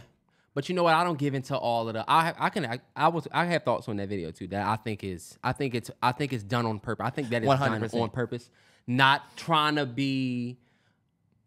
And that's the thing. They was It's talking- not Jay Z on to the next one video. No, yeah. See, back in the day, you had to look for the signs. You know what I'm saying? Yeah. A lot of people don't like Sam Smith's Unholy video, but the performance or whatever he was at was ridiculous, red everywhere. and everywhere. And you know they doing that shit on purpose. And honestly, if I was LGBTQ and I went 25 years with y'all telling me I was going to hell, you know what I'm saying? yeah. For my lifestyle, I would love this shit. I would love all of the horns and shit because fuck y'all. You know what I'm saying? I don't I don't I won't have to respect you. You told me I was going to hell for years for my sin when y'all motherfuckers sin every day. You know what I'm saying? So now you. I'm about to that's why I love the Lord. Like I'm at the I'm at the I don't know what he said. I'm at the body shop. I'm doing something unholy. I love it. I love that. I love that track because of what it represents. You know what I'm saying? Yeah.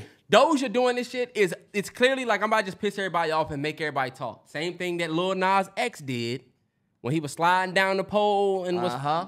giving the devil a lap dance. Now you They trying to do it. They're trying to have that crazy moment, and now people are not really giving a fuck for real. Yeah. People weren't so upset about that video. It's just like, wow, you know, Nah, people was definitely. You talking about this one? about well, not as much as you would normally see. Yeah, not as much as you, You know. normally see. Sometimes it's a little far, Yeah, but it's not unwarranted because of the what came with it. it's not. And like what she said about I'm not your friend, stuff like that. That's what y'all have to keep in mind with some of these artists. They are literally just artists. Yeah. You know? I don't give a fuck about anything normally except the art. You know, and you know how I am. We not really supposed to know certain things that we want to now know. Cause we uh, me and Terrell, the way we grew up earlier, you really did not see these celebrities at all. Do you remember back in the day, we didn't have Instagram and Twitter to see them all the time. You didn't. Like they needed to show up at the BET, the MTV Awards to be seen. They needed to show up to these red carpets to be seen. And like mm-hmm. now, they don't give a fuck. Y'all think that Jay Z really gives a fuck about what y'all think? No. And these young artists, they really don't. They don't. They don't give a fuck. This is almost like the glitch in the system where you said some shit you wasn't supposed to say because we all feel that way, but you went out there and said it. You went out there and said it. Yeah. You All know? these people that had fan bases. Yeah. Remember when Nicki Minaj was outside? She was like, "I'm gonna go. I'm gonna go. I'm gonna go." I'm gonna go. Go. I because have, some- I have a conspiracy about Nicki Minaj. I feel like she does not give a fuck about her fans. I know. I be for real. I, but you know what? Be looking irritated as fuck. That's what I was getting ready to say. She be looking irritated. Beyonce was out there and then people was screaming and she was looking at them. And it's like, but you know what? You can never. There is a certain level of it though. You never know what your music, you know, Nicki might done. have a song that I wish that I could have this moment for life. That song, I I have seen people get the best news of their life and put that song on the story. Yeah. You know what I'm saying? Beyonce has tracks that could have changed somebody's life. You never know how big a fan is. That's why it is kind of like a we not your friend, but I do fuck with you heavy. Like the people that I watch their podcast all day, like I'm listening to Joe Budden for 13 years, 14 years. Yeah. I disagree with 90% of what he says, but I feel like that's like an older cousin that I got. Oh, what he's saying this week. Yeah. You know what I'm saying? You I'm not your friend, but I am a fan. Same thing the way I feel with like J. Cole, Drake, Jay Z, the Beyonce. I look at Beyonce like a, you know what I'm saying? Yeah. I'm not your friend, but I fucking, Yeah. what are you doing with your day? You know what I'm saying? I can only respond to what you do. I can't tell you to do anything. Not yet. Like, I wouldn't like. There's people that tell me and Terrell that they don't want us to do certain shit. They don't want us to talk about certain shit. Oh, mm. y'all niggas don't do this. Oh, y'all don't do that. And it's like Hand me that water jug. you're not gonna be able to. Oh, my man, getting some water. Hold on, let me pour it for you. you pressed Before I continue, what do you say? Hey, you go look. What? But it's it's definitely one of those things where I don't expect these artists to be on a friendly level or whatever. Like, if I were to see an artist out in public, I wouldn't be the type of guy that says, "Oh, let me get an autograph," or "Oh my God, can I get a picture?" I'm not the type of fan like that. But I have people all the time that come up to me that I might see and be like, "Yo, can I get a pic?" And I'm always with it. Yeah, you me know, too, yeah. because I'm not even. Who the fuck am I? You want a picture with me? Nah, yeah. But I understand both sides of this Doja Cat situation. She's saying a very ugly truth. Like, I'm not your fucking friend. I'm not. I, I just make music. And that comes get with the, that. But that comes with the frustration of your fan base. Think about like Rihanna and Rihanna has to deal with everybody saying, Where's that album? when are you Where's gonna that album? album? You know what I'm saying? Yeah. And the same way, remember we was talking about how Cardi never dropped uh, another album after she put the first one out? Mm-hmm. If I'm Rihanna, I'm not putting out another album. You know what I'm saying? Yeah. I'm not gonna give you that just because you want that. Because if the album's not perfect, now I gotta deal with being called mid and trash. You know what I'm saying? Yeah. Kendrick didn't put out music for five years. Niggas begged for music for five years. Heart Part 5 came, they loved it. You know what I'm saying? Everybody Mm-hmm. loves it. But the moment you don't like something, now, oh, that album was this, it was, oh, it only did this. You say J. Cole went through the same thing. Yeah. And it's kind of like, damn, you know what? How about I just take care of myself? I J. Cole, I was watching the For Your Eyes um, documentary that Yeah. he has. No, I was actually watching the off-season documentary that he has out. We were talking about how he made certain tracks. Yeah. And he was like, when the baby came, I was like, it's crazy. So I ended up having to move all my shit. And I'm like, this nigga has a kid that we have never ever seen. I don't even know how old he is. Kendrick got two kids we never see. Except on that cover. We've seen one of Beyonce's twins. You know what I'm saying? The Mm-hmm. boy we never see. And Rihanna gives us what she wants. You know, how- that's why, I, you know how, you know how I uh, agree with Doja, because I've taken a page out of kind of that book where it's like, I'm gonna limit how much of my real life I put out there. Cause then all of that shit is subject to you being judged. And, and don't think, and don't don't forget that Doja Cat was talking about switching her sound, and that kind of Uh-huh. That will also let you know how real your fans are because even with Rihanna, she probably meets people that says, "Oh yeah, well you well, whatever." I know girls who said "fuck Rihanna" because she ain't putting music out. They were such big musical Mm-hmm. fans. But you got to ask yourself: Are you really a Rihanna fan, or are you just a fan of Rihanna music? That's why Doja Cat saying, "I make music." It's like there are some people who are just fans of that. There are some people who do not give a fuck about this podcast that me and Terrell do, but they will watch all the reaction videos, you know? Yeah. Because they're not a fan of the Mallory Bros. They're a fan of Mallory Bros reactions. There's nothing wrong with that. Yeah. But you got to understand that we're looking at that. You know, we know the fans that show up for that. Oh, they fuck with this, they fuck with that, they fucking with everything we do. We do look at that person as more of a fan than the ones that's like, man, fuck this, y- y'all need to do that, or oh fuck that, I'm not fucking with that, or "Ah, nah, I don't fuck with that. It's nothing wrong with having your preference, but artists see all of it. Rihanna hears the people that say, "Where's that album? Or where's that album?" And she knows, okay, well, I'm doing Savage Fenty, and I'm a billionaire because of it. And if you don't give a fuck about that, cool. But Yeah. I'm looking at you like, okay, you're a fan of the music You're I a made. fan of what I do. Yeah. And that's Yeah. that is something that artists need to remember. Yeah. Is that a Same with of, these football players. Yes. Yeah. You know, like, You see all the people lined up across the street while Brian was eating? bro, yes, And it's like, but but you see a lot of it come with it though. And that's the thing that Yeah, we can't yeah. we can't miss that. A lot of it come with the game. You wanted to be famous. You know yeah, what I'm saying? You wanted to blow up. This is fame. That's why people say I want the money, not the fame. You know what I'm saying? I want y'all can keep the fame. I just want the money. You know what I'm saying? yeah, because they seen what fame can do. And That should have drive you crazy. That's why I like people like, what did J. Cole say when he was talking about how he wish he could go back? He got a couple songs. He was talking about how like Which I can go back and not do whatever. he could go back and be like a regular person because sometimes the shit is probably like, damn, even you, I can't listen to music when I want. I gotta wait and listen on cam for y'all motherfuckers. And I love to do it. I've been doing it forever. He should be a 90. He should be a 90. That's bullshit. Um, you see Wembanyama's at 84? 84? That, that come with the height. That come with the height. What was Zion when Zion came out?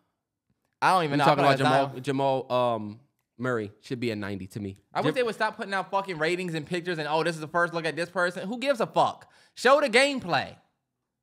talking about The 2K. game come out in a month. Nah, it does. No gameplay yet. We haven't seen any gameplay. We just keep seeing niggas upload 2K23 saying that it's 24. It's not. You ain't gonna get, be one of the niggas get the beta. Send Ronnie 2K your favorite 2K of all time. Buy an orange soda from the store. Send me your Twitter name underneath. You know how they be doing that just to get the beta. The Madden beta. When does Madden come out? I'm getting that Madden. Look at Young Thug in court. Did you see that joint? Did you see the dude that said? Got the- little size on him. you see the dude that said the TL going to light up when they announced Thug got the life, Life, sentence. sentence. Yeah, I saw that. I said, damn, that could happen.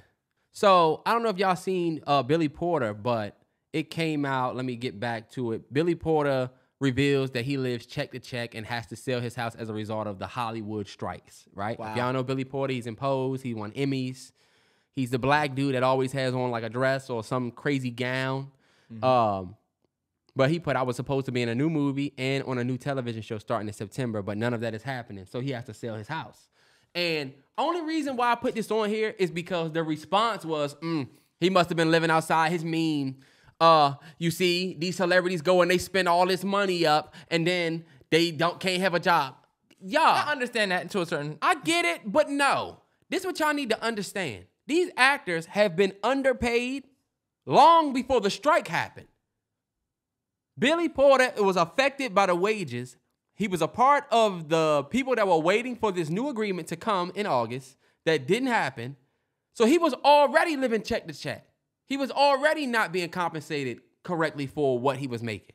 So they strike, you're gonna have to make some shit shake or you're gonna have to sell your house. It's not that he went out and bought this house that he can't afford. You live in something right now, and if for some reason we garnish your wages for the next two months, you're gonna have to do something different. Yeah. It would be fucked up if I said, oh, you probably shouldn't have got that apartment or you probably shouldn't have got that. Nah, because I was straight. Yeah. This was- should not be the take. Yeah. That's coming from people who aren't affected by or aren't involved, you know? Yeah, nah, it just yeah. And to me, it just goes to show how we just Remember what we said? You want you don't want to see people stay up at the top. That's how people are. people so fucking judgy.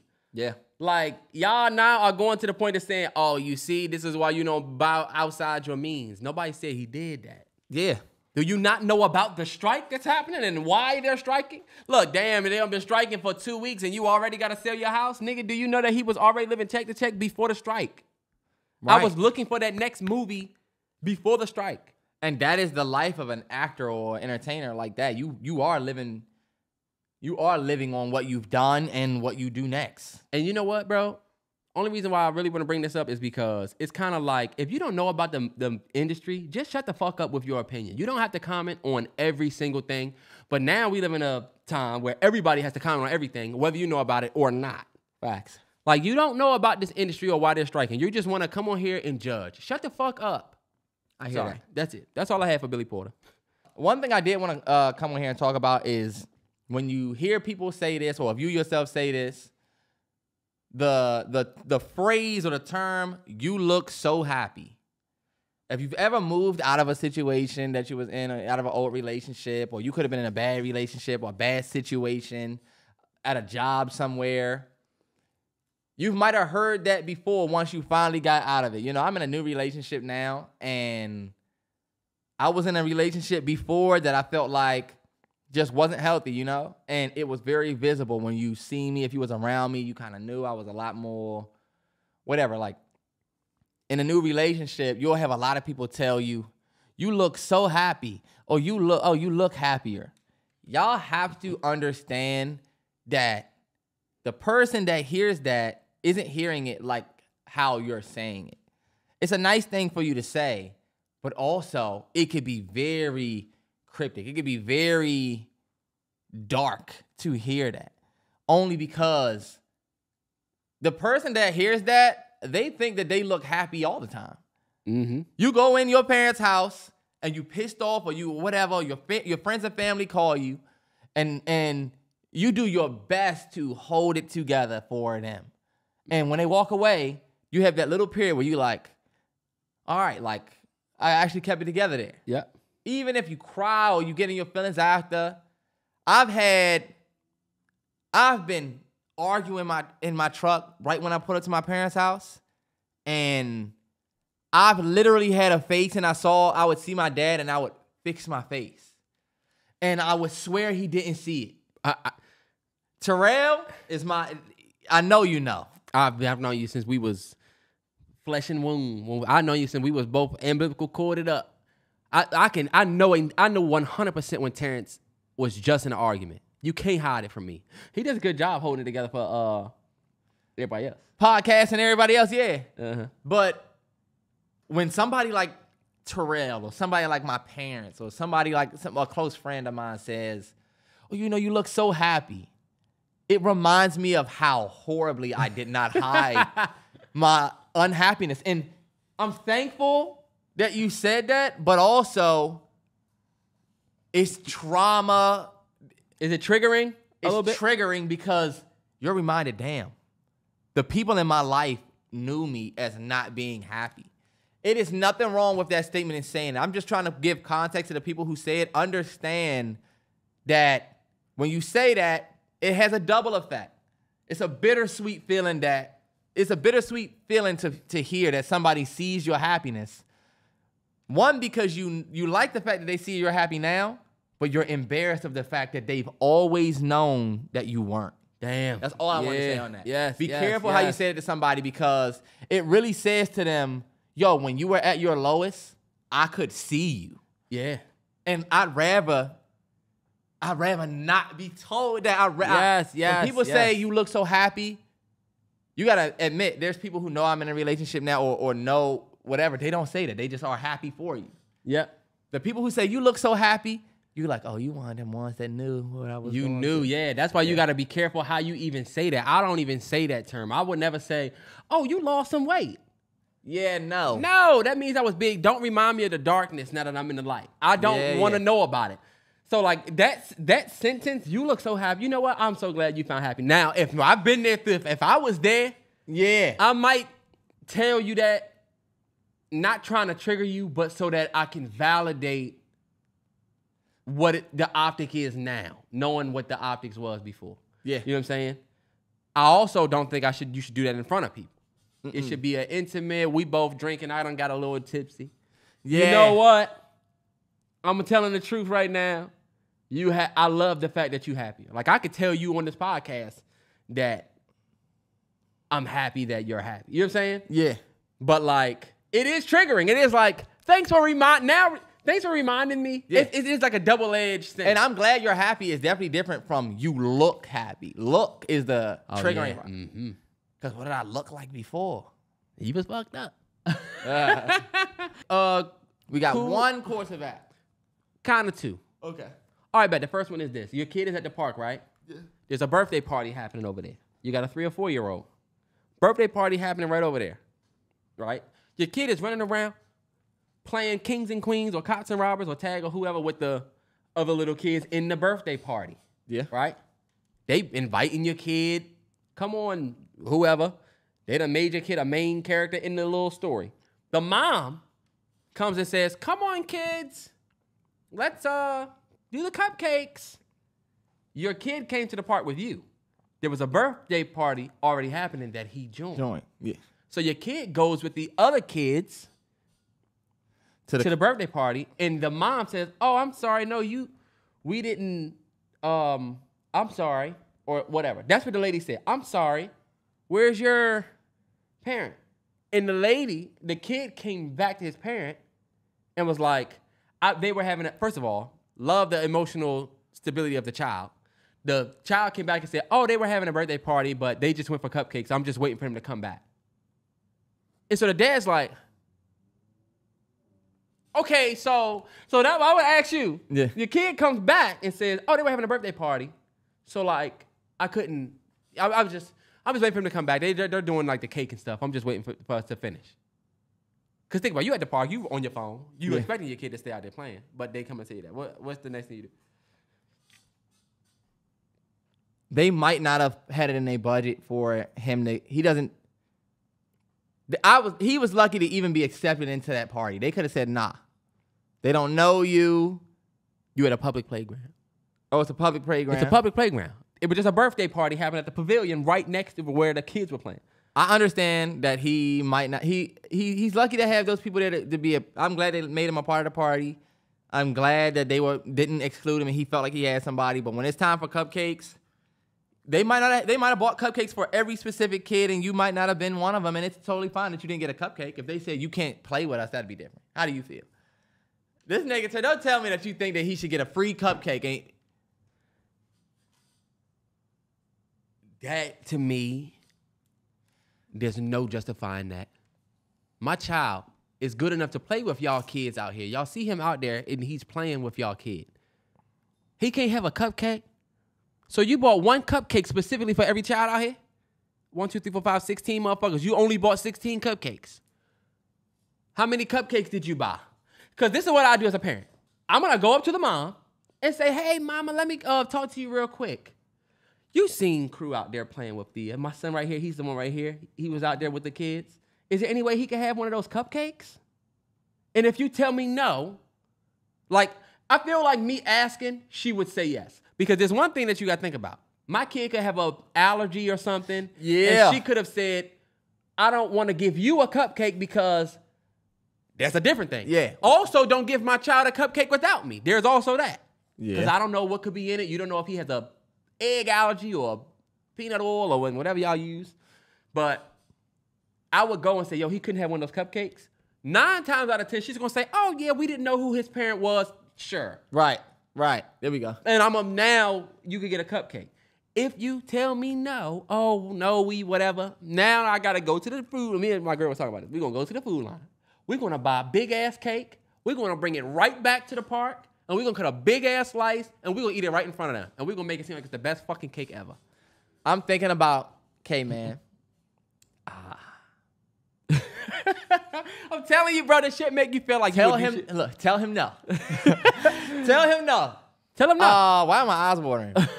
um, I would never do that to a kid. Yeah. If we got cupcakes, I can never say, "Oh, nah, you can't have no cupcakes." Oh, or oh no. Mm-hmm. I'm gonna say, "Where's his parent?" Before we do this, but low key, I don't have it in my heart to be like, Nah, Nah. yeah. I would 100%. No three or- way. Three or four year old, I 100% would say, hey, where's mommy or daddy? Where's who's who you here with?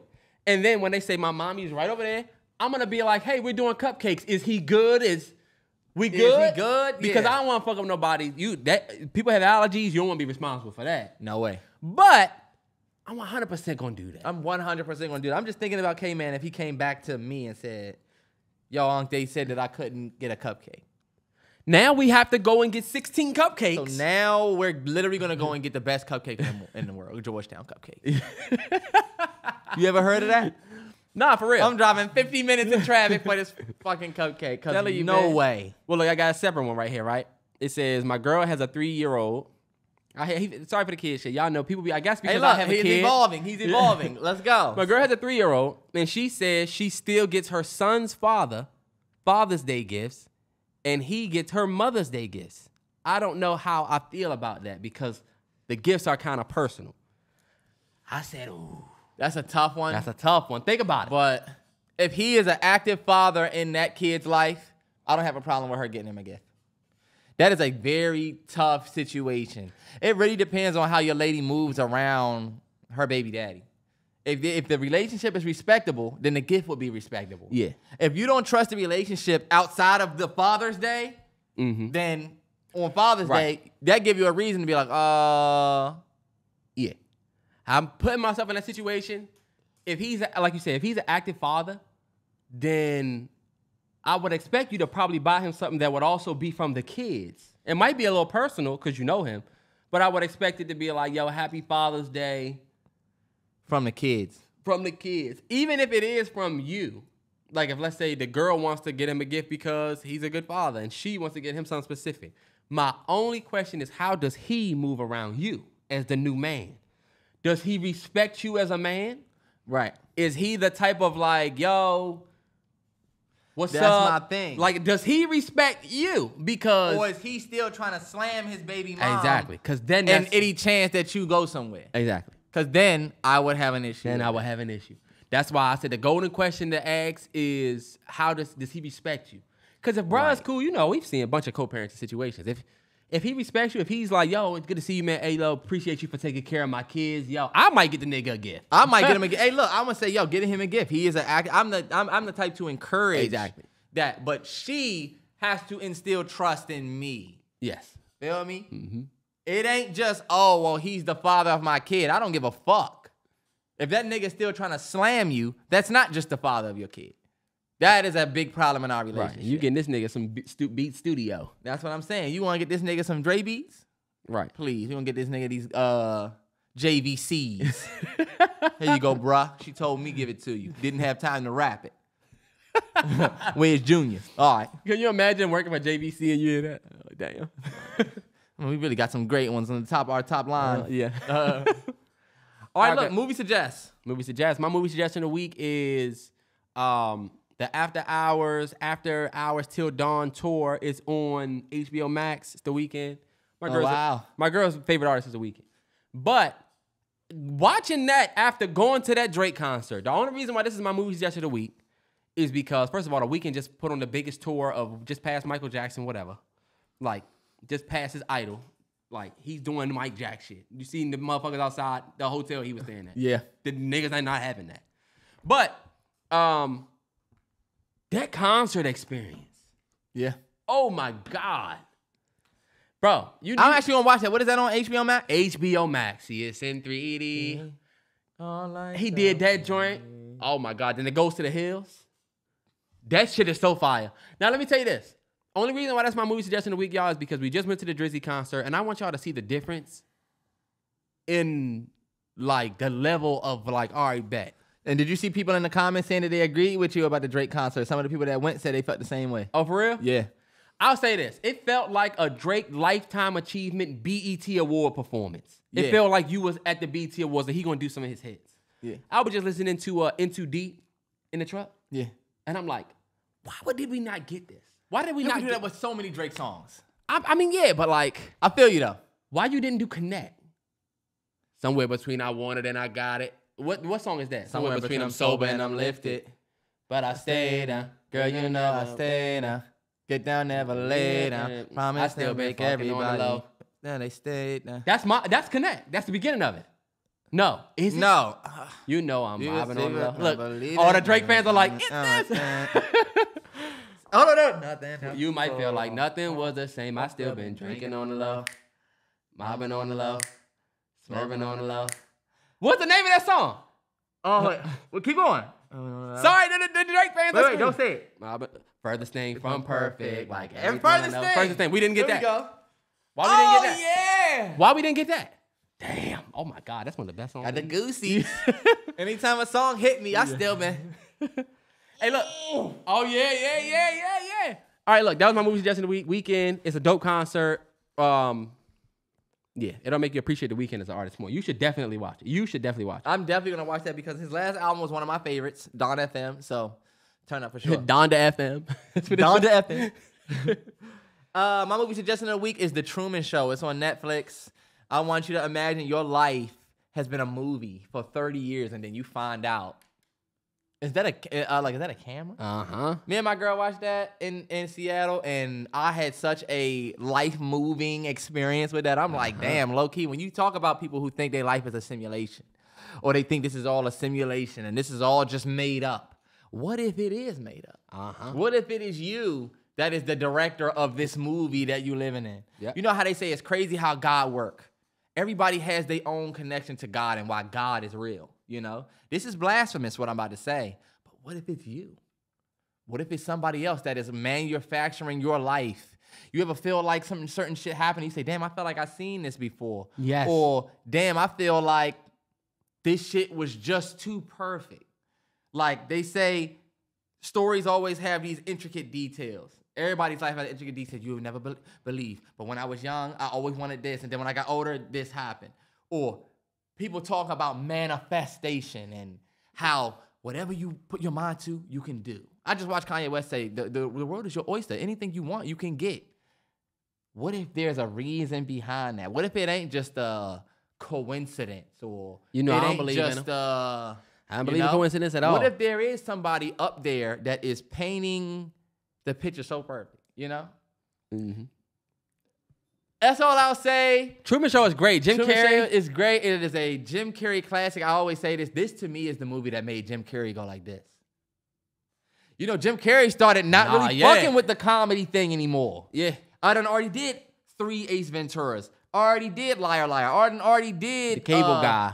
Mhm. Cable Guy. I've The already Mask, done all of it. The Mask. I've already done all of this comedy shit. Once this movie, I think, was done in '98, right before he started getting into his real like, I like I'm gonna Nah, do some more stuff. he did, did some stuff. He did some great stuff after, but You have that conversation. You know, you have a conversation with Jim Carrey, and and it's you crazy. look at the fact that he did Bruce Almighty different, right? Like yeah, he looks at the whole shit different. yeah. I was literally in a movie where I got the keys. Even Yeah. though it's a movie, Uh huh. It's crazy that uh, it's crazy how like in the life's intricate details. Mine was the Weeknd, Dawn FM. You just said Dawn FM was my favorite album, and then now you got Jim Carrey, and Jim Carrey narrated the whole shit about life and the afterlife. Look at the goosebumps on the nigga. you're not lying. yeah, and we did not tell each other what our movie suggestion was. You had no idea what mine was. I had no idea. I What yours was. totally forgot that Jim Carrey is on the end of Dawn FM. He's in the whole thing. I literally just watched the whole movie. I was all the way 3,000 miles away. it's crazy. No, Do you know that there is an actual Truman syndrome, a medical diagnosis now because of that movie? And the, and the director, they said the director loves that because you can't tell me shit. yeah. But people really started to believe after seeing that movie that their movie was that way. I mean, that their life was that way. I'm about to rewatch that joint. Bro, I rewatched it and I was like, I ain't gonna lie, I hadn't seen it since I was young. So my girl's like, You seen this, right? And I'm like, Yeah, I seen this. Just a couple, you know, I seen it when I was young. Uh huh. And she saw she was sitting there watching me look at it because I'm sitting there like, Shit. oh shit. Cause they do stuff like uh every time something happened to him, everybody look at him. You get a lot of people took from that movie Mhm. that we've seen. But like when stuff would happen to uh, around him or with him, people look like, and it's like, damn, his life is like a movie. Think about how often you're not looking at everybody. Yep. You drop your wallet or something, and you got people that look up at you and they look down. Are they act? Are they an actor? Nah, yeah. Are It's you like- supposed to be here? you know, Nolan took from that for Inception with the the whole Whole- my dream is collapsing situation. That's exactly what Like- it reminded me of. when you start panicking, everybody look at you because now you altering that you starting to figure this shit out that it's a dream. That it's a dream. if y'all never seen Inception, that is the best, one of the best movies of all time. It's my favorite movie of all time.